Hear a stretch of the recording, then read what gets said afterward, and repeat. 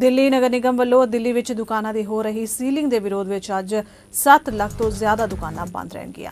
Confederation all India ਵਪਾਰੀਆਂ ਨੇ ਕੱਲ ਦਿੱਲੀ ਦੇ ਮਿਊਨਿਸਪਲ ਕਾਰਪੋਰੇਸ਼ਨ ਵੱਲੋਂ ਕੀਤੀ ਗਈ ਕਾਰਵਾਈ ਖਿਲਾਫ ਰੋਸ ਪ੍ਰਗਟ ਕਰਨ ਲਈ ਦਿੱਲੀ ਬਿਜ਼ਨਸ ਨੂੰ ਬੰਦ ਕਰਨ ਦਾ ਐਲਾਨ ਕੀਤਾ ਹੈ। ਪਿਛਲੇ ਇੱਕ ਮਹੀਨੇ ਤੋਂ ਸੁਪਰੀਮ ਕੋਰਟ ਦੁਆਰਾ ਬਣਾਈ ਗਈ ਨਿਗਰਾਨੀ ਕਮੇਟੀ ਦੀ ਤਰਜ਼ ਤੇ ਛਾਪਾਮਾਰੀ ਕੀਤੀ ਜਾ ਰਹੀ ਹੈ।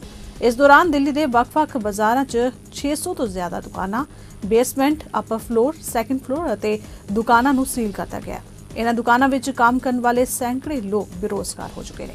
ਦਰਅਸਲ, ਦਿੱਲੀ ਵਿੱਚ ਕਿਸੇ ਵੀ ਤਰ੍ਹਾਂ ਦੇ ਨਿਰਮਾਣ ਲਈ ਨਗਰ ਨਿਗਮ ਤੋਂ ਇਜਾਜ਼ਤ ਲੈਣੀ ਪੈਂਦੀ ਹੈ, ਪਰ ਦਿੱਲੀ ਕਈ ਇਲਾਕਿਆਂ ਵਿੱਚ ਧੜੱਲੇ ਨਾਲ ਹੋ ਰਹੇ ਨਜਾਇਜ਼ ਨਿਰਮਾਣ ਨੂੰ ਵੇਖਦੇ ਹੋਏ 2005 ਵਿੱਚ ਦਿੱਲੀ ਹਾਈ ਕੋਰਟ ਨੇ ਅਜਿਹੇ ਹੀ ਕਿਸੇ ਵੀ ਕੰਸਟਰਕਸ਼ਨ ਨੂੰ ਟਾਉਣ ਦੇ ਹੁਕਮ ਦਿੱਤੇ ਸਨ।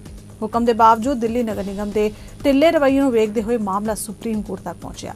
ਇਸ ਦੌਰਾਨ ਧਰਨਾ ਪ੍ਰਦਰਸ਼ਨ ਦੀ ਵਜ੍ਹਾ ਕਾਰਨ ਸਾਰੀਆਂ ਰਿਟੇਲ ਅਤੇ ਥੋਕ ਦੀਆਂ ਦੁਕਾਨਾਂ ਬੰਦ ਰਹਿਣਗੀਆਂ। ਕਿਸੇ ਵੀ ਤਰ੍ਹਾਂ ਦੀਆਂ ਵਪਾਰਿਕ ਗਤੀਵਿਧੀਆਂ ਨਹੀਂ ਹੋਣਗੀਆਂ। ਦਿਨ ਵਿੱਚ 12 ਵਜੇ ਤੋਂ ਪੁਰਾਣੀ ਦਿੱਲੀ ਦੇ ਹੋਸ ਕਾਜ਼ੀ ਚੌਂਕ ਤੋਂ ਵੱਡਾ ਵਿਰੋਧ ਪ੍ਰਦਰਸ਼ਨ।